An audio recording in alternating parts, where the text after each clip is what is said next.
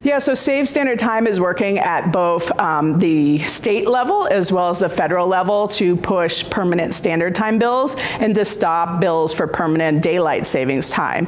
Um, we know that permanent daylight savings time has been tried before, it's failed before, um, and it really would be against um, sort of optimally aligning those circadian rhythms for our health and well-being. Um, and so we need both people at the state level pushing um, these bills, which will hopefully signal to the federal government to make a sort of unified um, change encourage you to go to either savestandardtime.com, ditchdst.com. Um, there's a lot of easy ways just to send um, messages to your own legislators. If you want to do more, let us know, and we're happy to connect you in um, with resources and help to, to do more at either the state or the federal level.